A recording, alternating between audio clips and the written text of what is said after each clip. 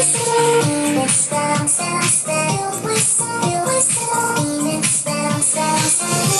someone tell me what the fuck's going on? I think it's got something to do with fucking ponies.